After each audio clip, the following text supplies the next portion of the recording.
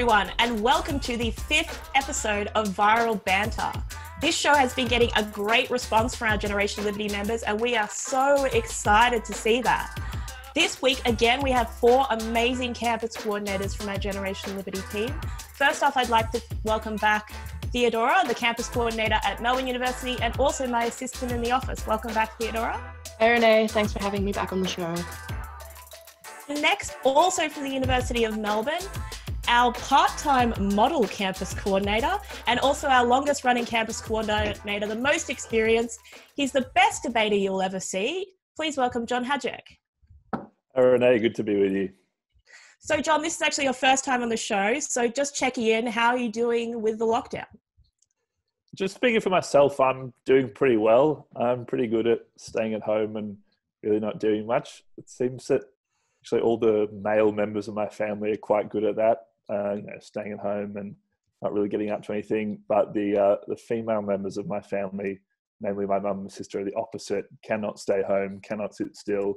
Um, so my mum has for the last about six or seven weeks been taking full advantage of that rule that allows you to exercise with one other person. It's been for about four or five bike rides or walks per week with you know members outside the household. But um, I've never never had more time to study, never been more, never done more study, and uh, the government keeps giving me free money that I, to be honest, don't probably deserve. So uh, the bank balance has never been better. I've never got more work done, so everything's all right with me. But I can't speak for everyone else everything's going well for Hajek right now. See, I think I, I, identify with your mom and sister. I think um, Jordan Peterson talks about this. Um, the difference between extroverts and introverts is um, extroverts kind of feed off other people, and I think I realized how much of an extrovert I am right now because I need other people to like get my enthusiasm going, and I'm just if there's nobody else around, I just get a bit sad. I'm, really, I'm realizing how much work you can get done when you don't have to see all those you know pesky friends or anything. But this is why we have Viral Banter, so I can keep in touch with you all. So, um, bringing on to our next two people onto the panel, more familiar faces. First off, we have Boston from the University of Wollongong. Welcome onto the show again, Boston. Hi, Renee. Thanks for having me back. And Laura Glase from the University of Sydney. Welcome back, Laura. Hi, Renee. Good to see you. You generally have a really beautiful setup, so I need to get your criticism on my new setup. It's lovely. Look, I'm a big fan of color, and that is something that I've been working on. And so I love, I love the color. Your old background was good, and we, we were vibing with that. But I, it's nice. It's nice to look at.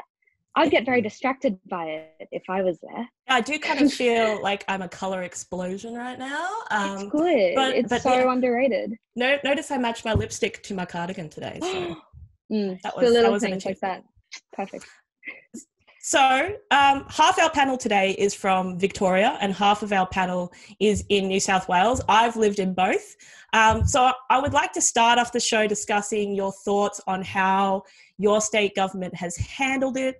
Um, first off, Boston, it looks like New South Wales is going to start um, easing some restrictions. What are your thoughts on that? Um, so, we've already started easing some restrictions since last Friday, and those restrictions enabled us to see um, people for mental health reasons and for socialization reasons, as long as there's two adults visiting other people in their homes, obviously following strict social distancing rules, which I think is great because a lot of people have been suffering from mental health and suffering under lockdown, not being able to see their friends or family for so long. So that was a great move. But I'm a little bit disappointed, to be honest, because it's been um, disclosed by the Premier quite recently, Gladys Berejiklian, that um, New South Wales won't see any restrictions easing prior to Mother's Day, or at least in the near future. So the Premier, I, I feel like our government has been pretty quiet when it comes to Scott Morrison saying restrictions might be eased by Friday. And then all of a sudden, a day or two before these supposed national restrictions will be eased, the Premier comes forth and says, actually, no, we're not actually going to ease restrictions in line with other states. Yeah, I can see that would why that would be disappointing, and mm. especially since you're seeing such a positive um, impact from just the slight um, thing that you can go and see someone else for mental health reasons.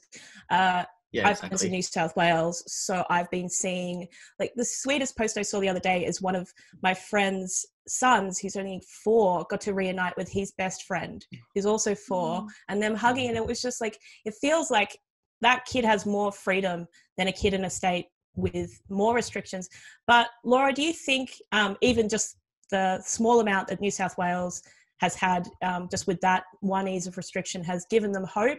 And um, have you seen reunions like this that have, have given you some positive news? Yeah, I do think that it's given a lot of people hope, especially those who are uh, ordinary citizens, and the only way that they're getting information on uh, on coronavirus response, um, restrictions, what's being increased, what's being relaxed. A lot of people are, are getting that information only from, uh, you know, their news sites, from the government, from their their daily uh, news conferences and press releases, and so just by uh, you know the, uh, the just by the announcement of the relaxation of some restrictions it does give a lot of people hope because this is their figure of authority that is you know for the past few months been telling them what's going on and, and telling them what they can and cannot do. So for for for a figure that has in that is in the past um, been been playing such a, a key role in restricting our lives the fact that they've now announced that we can start the process of relaxing them. It has given a lot of people hope and a lot of people some some reason to to to feel some joy and excitement over that. Um, I, I can't say that I've seen many reunions in New South Wales. Maybe that's just because I'm I'm not I'm not out. Um, but it it did I did I did catch up with with a friend. Um, I was able to to to go see them um, when it was announced that adults of, of you know two can can go to uh, another household. So I was able to see a friend, and that was just magical in every sense of the word. Um, but yeah, that that that's about it. But I'm sure they're happening, and it is really really lovely and heartwarming to know that so many months of separation um, are now hopefully coming to a close.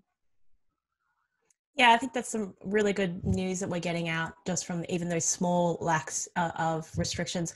But John, across the border in Victoria, we have some of the harshest restrictions still in place. Well, the harshest restrictions in the country still in place. Uh, why do you think that is, and and do you uh, agree with it? And um, what do you think it's going to have as an impact on Victoria overall? Well, Daniel Andrews always said, even when Scott Morrison said they would relax restrictions this Friday, he always said they would wait a bit longer. Um, I don't exactly know why that was at the time, and I was sad to hear that because I obviously want restrictions to be relaxed. Unfortunately, now in Victoria, we've had the whole um, Cedar Meats, you know, the small cluster outbreak at Cedar Meats, where instead of having you know two or three or four cases a day, for the last couple of days we've reported 17 or something. So unfortunately, I feel like uh, Daniel Andrews is going to feel very vindicated now and uh, feel justified in keeping a lot of these restrictions in place. I I think they do go too far. We have, I mean, not only have we expanded our ICU capacity uh, in preparation for what might come, there's also there's fewer people in ICU and hospital than there have ever been before because there are fewer people getting in car accidents, all that sort of thing, fewer people contracting other diseases from the distancing. So we've got this hospital capacity. I think we might as well use some more of it. The whole point of this flatten the curve concept was not that nobody would get it. It was that the same number of people would get it, but over a long period of time so health services could cope. I think we're going to have to be willing to accept a few more cases, whether it's 17 or 20 a day, maybe even more than that, um, because that might be the price we pay for loosening restrictions, which I think we have to do. I mean, we can't just keep expecting that, um, you know, we, ha- we have to have no more than three or four cases or zero cases in each state per day. I think that's unreasonable. We're going to have to show a bit of mettle and uh, and put up with a few more. Um, and if, if that's the cost that comes with loosening all these restrictions that are just devastating the economy, that might be worth it. I'm looking out my window right now, across, right across the street from my house. There's a cafe there, which is a totally bustling cafe, and some new owners bought it and took it over in about February or something. So, how unlucky can you get in terms of uh, when to buy a cafe? So, I mean, it's those people that I particularly feel sorry for. Uh, do you also wonder, worry that if um, Victoria is the last state to open up, that it will have a larger economic impact here and that Victoria will be left behind? I mean, I, think so. I mean, obviously, just the longer this goes on, the the, the greater cost it has, and I, I worry that. I mean, just obviously, it's quite hard to uh, move interstate now, but uh, assuming you could, more people would obviously be willing to uh, go to where there are fewer restrictions. It's going to be easy to find jobs or easy to open a business. But yeah. um, the, the longer it goes on, I mean, the harder it is to recover for. Most businesses can probably survive, uh, you know, a few weeks of lockdown and then um, go back to business as usual. But if your business can't survive a certain period of lockdown and it folds, um, it's not easy to come back from there. So Victoria could be left behind if it keeps too harsh restrictions in place for too long. I fear. It also, I think, um, uh, it's going to be interesting uh, when the state borders get opened up again because Melbourne actually has um, the highest internal migration in Australia, or used to have the highest internal migration. So if people were going to move to a city, they were going to move to Melbourne, and I think that that might change significantly, which would have a massive impact on the state overall. But outside cities, Theodora, you live in regional Victoria, you live in Ballarat. Do you think these areas may be harder hit by the economic impact? Uh, yeah, I definitely think regional areas would will potentially be the hardest hit. Um, I'm seeing so many small businesses in my area really struggling to stay afloat, as you would imagine, given the lack of tourism, the lack of foot traffic in town, and the widespread fear about going into the city and interacting with people. But I guess what's interesting is that these local businesses are being creative in the ways they've stayed open and the way that they're interacting with their customers. So, for example, my favorite local bookstore is now doing hand delivery to your door, and um, local bakeries are setting up like shop windows, and people walk past and get their bread every day through a window instead of going to the store. So, I think even though these local businesses have been hard hit, people are trying to support them in new ways. Um, and you're getting and this sense of community spirit in these hard times. So I think with any luck, people will start rallying around small businesses um, and really supporting them even more than they did before. And that's going to be really important in uh, the recovery phase of local economies in the weeks and months ahead. Yeah, I think it's kind of a two-sided issue. As is, there's some negatives and positives there. I do think overall there's going to be a harsher economic impact in regional areas just because that generally tends to happen historically. But you do have those tighter community ties there, which I think we've realized are such an important thing during events like this. Um, so when you've already got those community links, it means you don't have to build them from scratch, um, which some inner city areas may have to be doing and it's it's a little bit harder. But um, i spent my first years of my uni living regionally. I used to live in wollongong um, not far from you in the illawarra boston.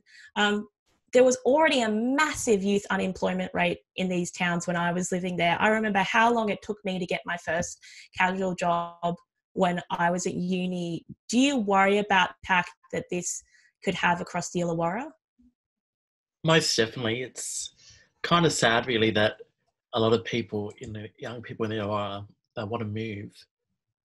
They'll have to move to Sydney or another place to find good, well-paid jobs when they leave uni. And even like now or before, pre-COVID nineteen, the um, it was so difficult for people to get jobs. My a lot of my friends were jobless for years until they found a job as a waitress at a cafe or something like that. And the impact that this will have on the Illawarra, I think, in the short term will be very negative. Will be you'll see a lot. We are seeing a lot more young people out of the job, out of their jobs.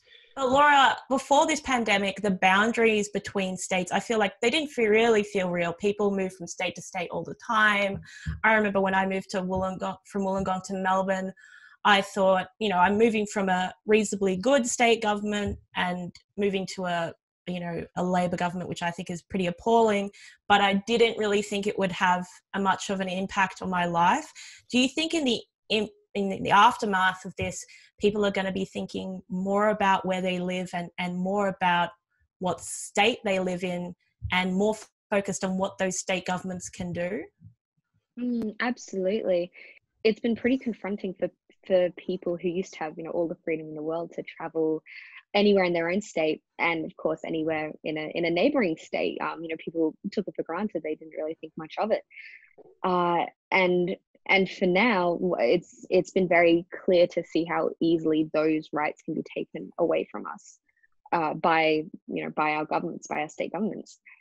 Uh, and so uh, people will certainly be more mindful i think of the rights that exist in their own state and who who controls that and who gives those rights to them uh, but also far more aware of what is happening in other states. You know, I, I, feel before this we didn't really know, or perhaps didn't even care what was happening on the other side of Australia, unless there was something super intense or super exciting happening. Was pretty much as long as we know what's happening in at least my state, New South Wales, then that's fine. We're happy.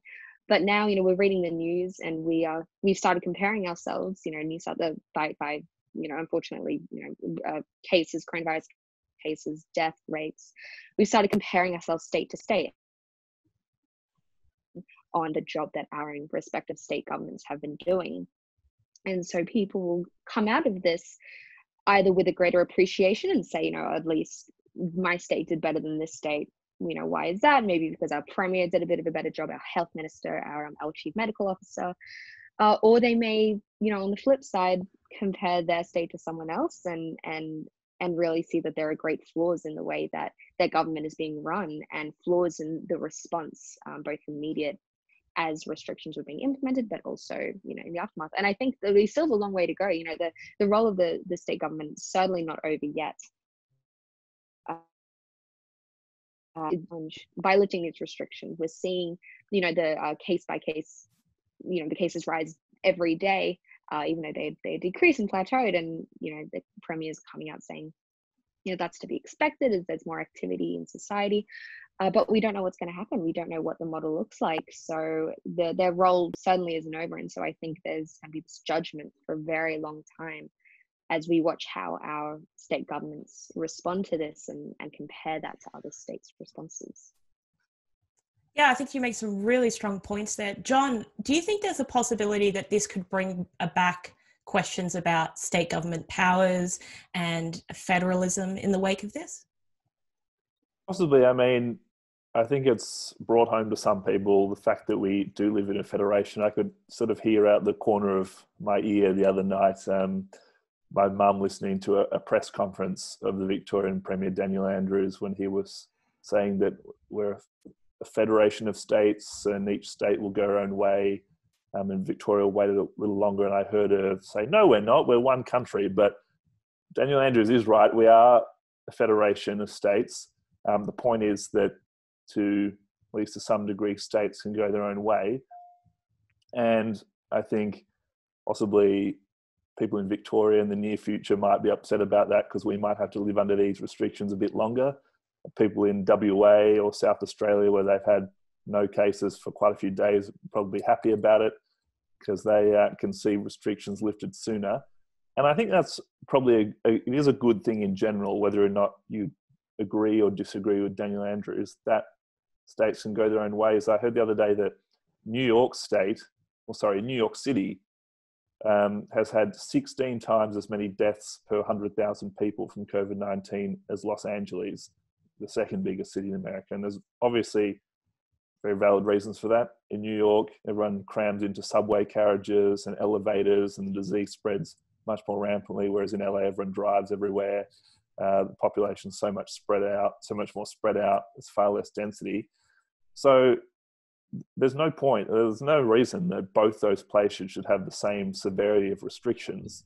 Um, and in the same vein, there's no point why WA, which has had no cases for a few days, as far as I'm aware, should have the same severity of restrictions as other states, which are experiencing cases, still experiencing cases. So I think that is one of the benefits of a federal system, um, even if, as I say, people who live in Victoria, well, we might have to endure these restrictions a bit longer, um, are upset that Victoria doesn't follow the advice of the uh, the federal government and uh, send kids back to schools or lift restrictions a bit earlier. Yeah, the I think there's some really interesting points you've made there. I think one of the problems is um, federalism uh, when it works best, it's a, it's a competitive federalism model, and that involves movement. Exactly. So that means that the states can compete and do lower taxations and you know they'll actually be responsible for taxation so people can move around and they have you know they have uh, an incentive to do the right thing for their people but right now they don't collect taxes it's the federal government that does it they ask them for their handout so they have all this power but they don't actually have much responsibility because um, they could just go back and blame the federal government. But I just think it's good that we're opening up this discussion again, um, and I think people are going to be asking questions about it again. What are your thoughts, Theodora, on it? Yeah, I agree with you, Renee, that um, now that people can't really move about from state to state, there's just going to be uh, a lot more uh, self reflection in the states. People are going to sort of I think we are already seeing in Victoria an erosion of trust in state government, and uh, people are really questioning the draconian measures which have been put in place here. So, yeah, I think conversations are going to start um, happening that are questioning the way things are run between the states, for sure. And Boston, do you want New South Wales to secede and become its own country now? Uh, sorry, I'm not much of a secessionist, but uh, I do see the pros and cons of succeeding from the federation. So, New South Wales, prior to this um, pandemic, we were putting a lot of money into the national purse through GST, and we weren't getting much back. Like, we'll, the only other state really that was worse impact is worse impacted by GST is Western Australia. So we're the economic powerhouse well, our government claims we're the economic powerhouse of Australia, yet we don't see much money returning to us through the federal budget. So I think it's a little bit unfair that other states are um, relying on our money, the money that we make here in New South Wales, to function because they have poor economic management. But uh, I, I, think I don't think there will be any secessionist movements anytime soon in New South Wales. That's a shame. um, but one thing that does emphasize state boundaries at all times, um, especially on the East Coast, um, but all across Australia, is um, football codes and sport. And it, and it, does look like the NRL is going to go back sooner than the AFL, um, but there is more discussion going on about how we get back to sport. Um, do you think having sport back is something that is going to be really important for getting Australia back to normal, Laura? Yeah, I do. I mean, I'm going to come at this in a completely unbiased way. I am by no means a, a sport fanatic or a NRL. Is that right? NRL fanatic. um, but yes, it's NRL. I, it's NRL. Okay, just wanted to check. I don't want to, you know, say anything and have all the comments be like, it's not NRL.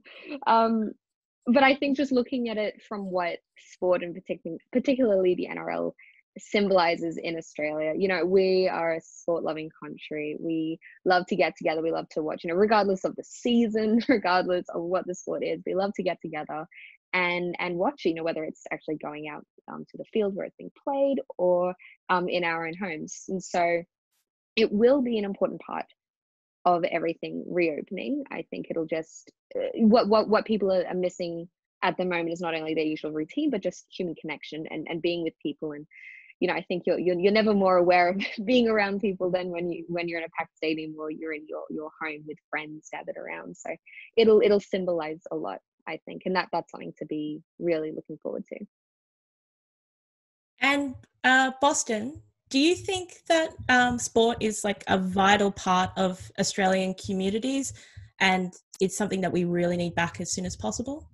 Um, most definitely. I'm not a sport fanatic either, but even I'm I tend to go out with friends to watch the footy, or um, I know that a lot of my family members they love playing their football with their mates and yada yada yada. But like, there's also a very important um, aspect of sport which enables young people to flourish. So, for example, there's a foundation called the Clon, you'll know it, um, Clontarf, Clontarf. Clontarf. Clontarf. Clontarf, I think. I think you're Clontarf. referring to Clontarf. Clontarf, yeah, is sorry. The indigenous, is it, is the Indigenous Sporting Group? Yes, yeah, I think Clontarf, yeah. So it's a national um, foundation that encourages young Aboriginal and Torres Strait Islander um, boys to attend school through sport. but it teaches them a lot of life skills and it has had a massive success rating enabling and keeping these boys going to school which will allow them to have a better standard of living once they leave and be able to secure better jobs so sport not only is a great pastime but it's actually an enabler of so many other things that we hold most dear Yeah, I think the work that they do is absolutely amazing and it Definitely. shows what an impact sport can have, um, especially in young men's life, teaching them discipline and routine, um, things like that is, is so, so important. Um, but John, there is still a question that it look kind of looks like maybe NRL is going to go back before AFL. Um, whatever way it happens, do you think that could cause more tension in the Australian community if some people get their footy back and some people don't? Um, I don't know about tension, but I do think that, I mean, there'll be a, a big first mover advantage to whichever code comes back first. Uh, we saw that because they had round one of the AFL.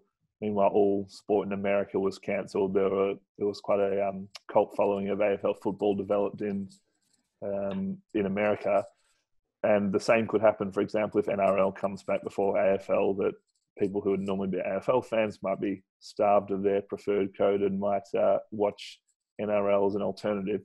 So, I mean, I, I, don't think people will feel necessarily divided over it, although obviously fans of whatever code returns latest are going to be upset. But uh, as I said, I think there's a, there'd be a huge advantage for whatever code comes back first. Well, kind and, of on that, um, I am kind of, well, of course, I'm hoping NRL goes back first. Um, but one of the main reasons I am hoping that NRL goes back first is that our fearless leader, John Roskam, said in our um, office footy tips chat, and we screenshotted this.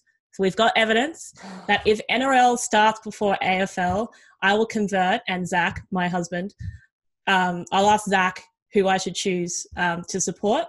So if NRL goes back before AFL, I am express posting John Roskam a Dragons jersey. No, I'll be express posting a Rabbitohs jersey. he said he's going to ask Zach for um, the the choice, but um, I'm happy to have another a, a New South Wales team thrown in there. I know that um, Tristan and a few of the Queenslanders in the office are trying to convince him to go Broncos or Titans or Cowboys. Um, but it is uh, it's been a funny conversation that I think it's personally it has caused a little bit of uh, tension uh, that uh, I've noticed between even just the IPA staff about which one's going to go back first. I don't um, think anything will persuade me to uh, become an NRL fan, but we'll see. So, um, something that goes along with footy in most people's heads in Australia is the pub. And it seems it's something that everyone's missing a lot. So, to close today's show, the last question of the show, I want you to tell me your perfect pub meal. Um, what you like the meal, the place, the drink that goes with it, um, and why you're so excited to do something like that again. So, Boston, what's your favorite pub meal? Uh, I miss the pub so much. And one of my favorite pub meals is vegetarian nachos. So good. Mm. From uh, North Wollongong pub. So that's one of my favorites. It's a laid back and there's a lot of young uni students who go there. It's all happening at North Wollongong pub. and the drink of choice is either uh, Hahn Super Dry or glass of Sauvignon Blanc. Nice choice. North Wollongong Hotel used to be right near my house, and I spent yeah, a I lot of time there. Um, well, it, 750, 750 snitty days. They used to have 750 snitty night. That was they so still good. have that, but they not at the moment. But they, they had it right up until the pub closed for COVID, but they still have it, and I'll be bringing like, it back definitely. Yeah, well, they better bring, bring it back. I think they all they changed it to eight dollars for a while, and there was such an uproar they had to go back. There was a, there was a huge uproar on UOW rants and like on Facebook. It was hilarious.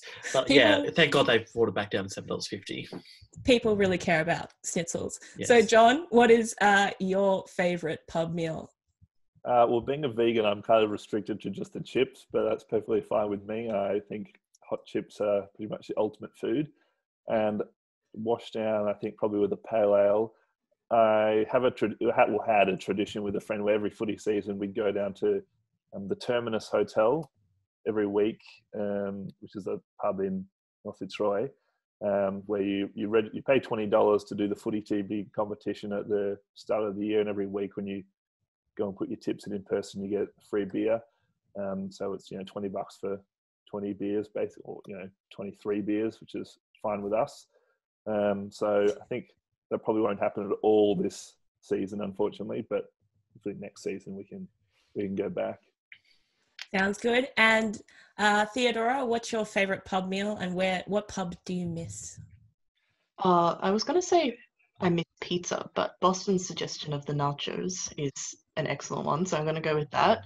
Um, I really miss going to the MITRE near the IPA office because that's like obviously got great memories, great associations with um, the IPA. So I'm looking forward to going back there um, once this is all over and yeah, just hanging out after work. I think that's probably my favorite spot. I think all of us at the IPA are really missing the MITRE. MITRE is actually also the oldest pub in Melbourne. I think possibly the person missing it the most might be Gideon, though. I think. Oh, definitely, for sure. I don't know how he survived this long. and Laura, what what's your perfect pub meal?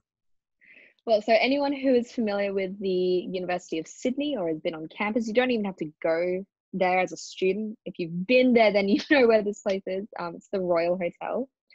So the Royal Hotel is is just down the road from uni, and it has ten dollar steaks. So all day, any day of the week, you go there for a ten dollar steak, and it's and and and you get your sides, you get your choice of sides. You can have mash or chips or veggies or salad, and your choice of sauces, and it's it's it's just it's quite an experience. And so it's just I really really having a day of uni and then ending it by strolling down to the pub with with friends uh, or if you tucked into like a late night study sesh just taking a 10 minute break walking down to the pub getting your steak and then hopping back um, so for, for, for drinks i i'm a i'm a huge lemon lime bitters fan nice kind of it's sorry, and it, it goes with everything Sorry, definitely give that a try Ah, uh, yes, the Royal. The Royal actually has a special place in the heart for Generation Liberty. We've run events there mm. multiple times because it's so Love close to Sydney Uni.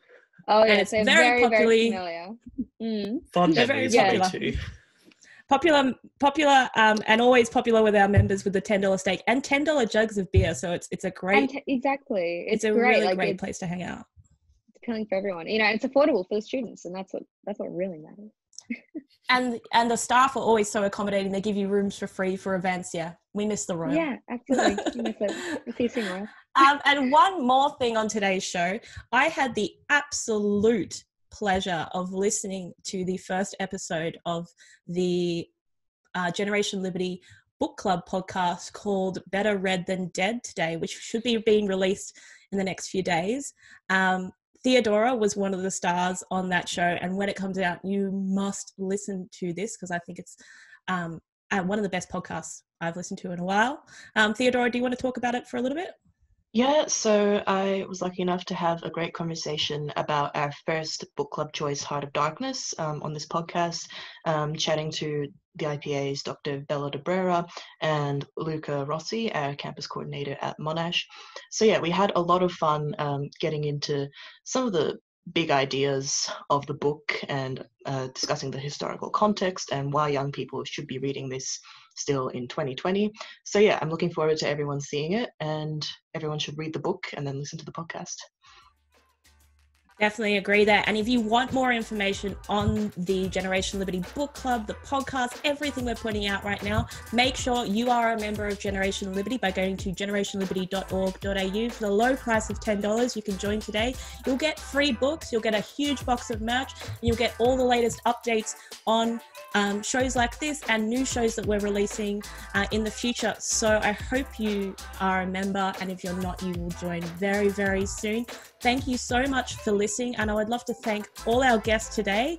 I think this was a really, really fun episode, and I love having a chat with my coordinator. Thank you. So that's another viral banter for the week. Um, for the time being, stay safe, stay happy, and stay free. Bye.